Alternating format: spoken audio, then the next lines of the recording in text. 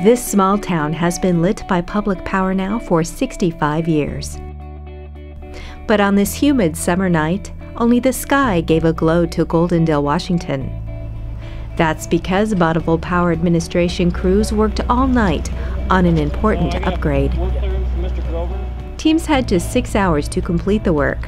Which the uh, replacement of two switches and the 16 poles was done within the two week period of time which included removal and installation of two new terminal spans into BPA's Goldendale substation to support two new 115 kilovolt switches.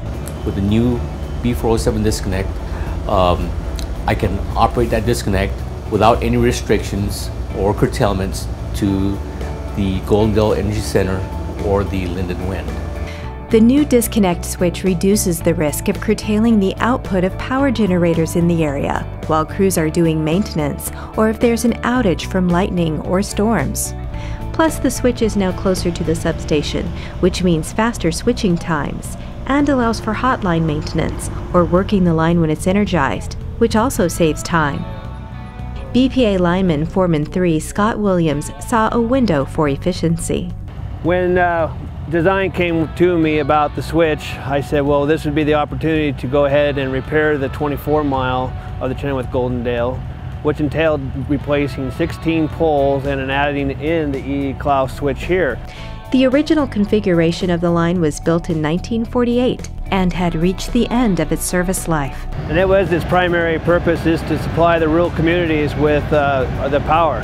In fact, half of Klickitat PUD's electricity source is from BPA.